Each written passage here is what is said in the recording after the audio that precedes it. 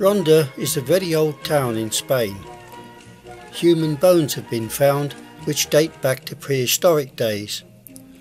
The area is well known for the gorge that divides the town and is 98 metres deep. One side is the old part of town and the other is where modern development is taking place. There are three bridges over the gorge and this one, called the New Bridge, is actually quite old as it was opened in 1793 after taking 42 years to build and costing the lives of 50 workmen. Between the central arch and the road above are many rooms which were used as a prison.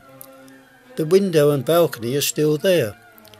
During the Spanish Civil War in 1936, both sides used the prison as a torture chamber for prisoners of war and it's claimed that many prisoners met their death by being flung from the balcony to the gorge below.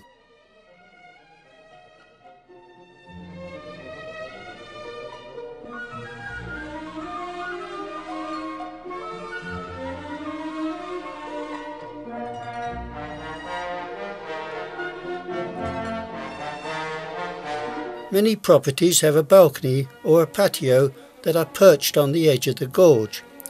A few cafes have tables available only a few feet from the drop. Tourists are allowed to use these platforms to view the gorge. minutes pour les photos et pour jouir de, de la beauté.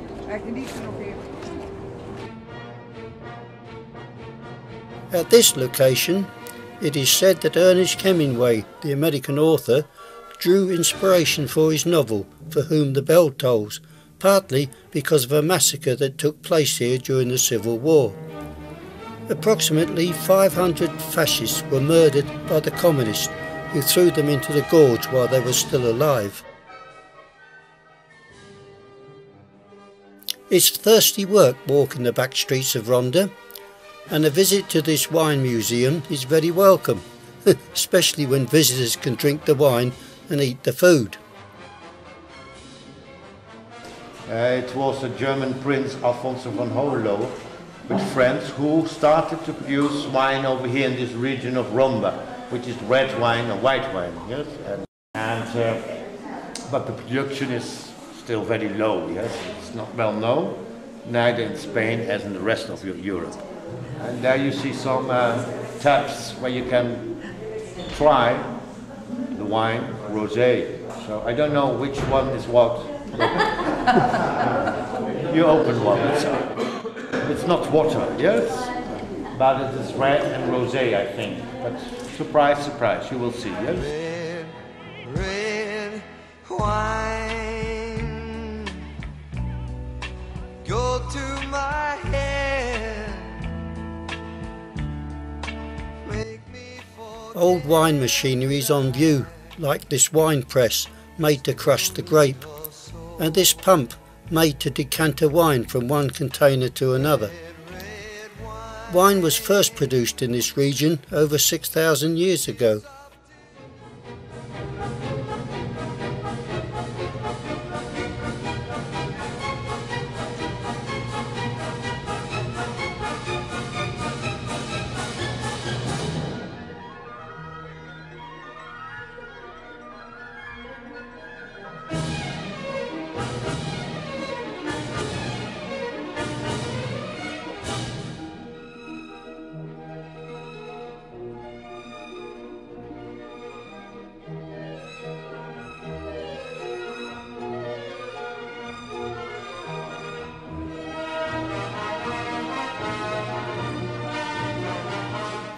Tour party is now on its way to the St John Bosco home. The property was given to the Salesian Brotherhood by the local wealthy Grandio family at the beginning of the 20th century as a refuge for ill and retired clergymen. At the moment there are five inmates. As one would expect, many fine religious paintings are displayed throughout the house.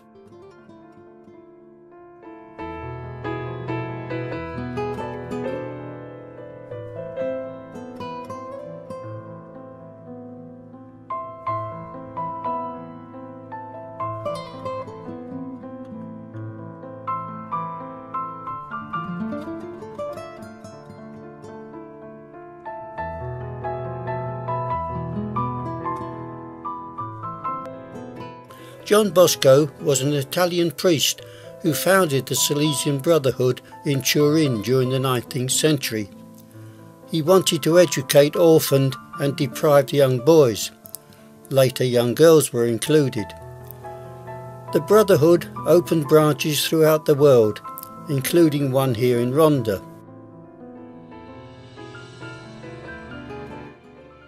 John Bosco and his dreams met opposition from many Italian leaders who believed that educating young deprived children would foment revolution.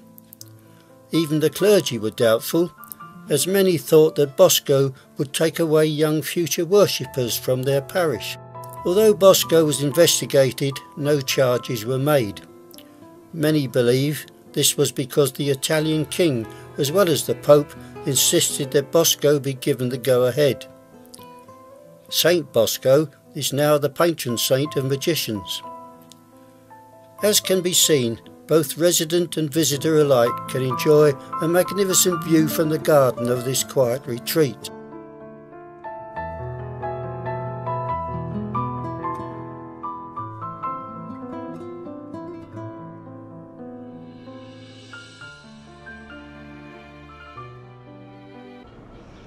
The Ronda Bull Ring was opened in 1784 making it the second oldest in Spain, the oldest being at Seville.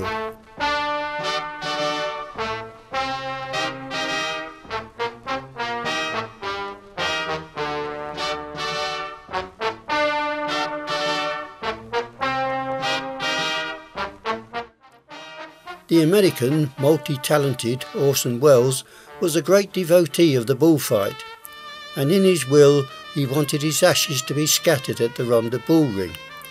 The local council, however, would not allow this to take place, so his remains were interred at a nearby ranch owned by his close friend Antonio Ordóñez, himself a very famous bullfighter in the 1950s.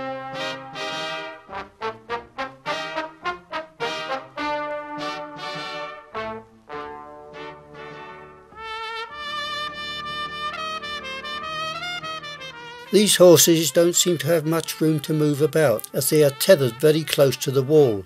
The Spanish are not very caring towards animals, but to their credit, you very rarely hear of a child abuse in Spain.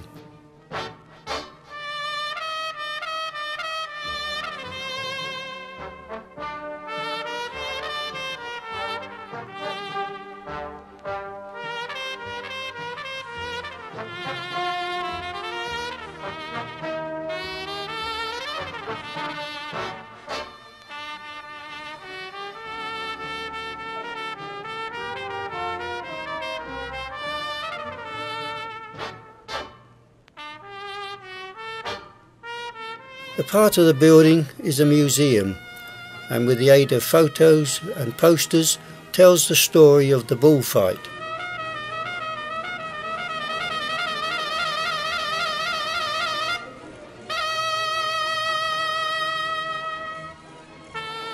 These spectacular costumes are the originals worn by famous matadors and other participants of the fight against the bull.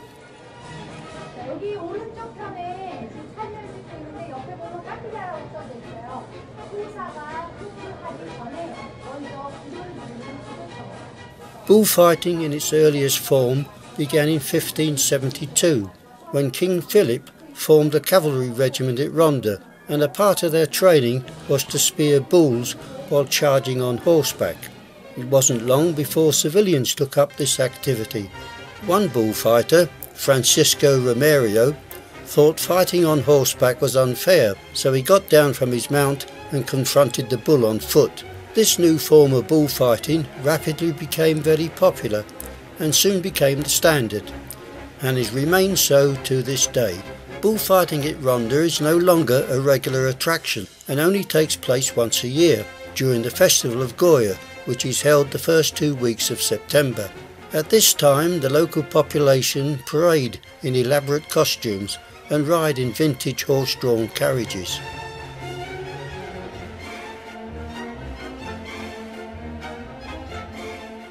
The bullfight is part of the culture of Spain, and you either love it or you hate it. The devotees will tell you it's like an artistic ballet. Other people will explain that it's nothing less than a barbaric ritual killing. Well, this is not the time to dwell on the matter, so we'll leave Ronda and hope to return to look at the many historic places we haven't had time to visit today.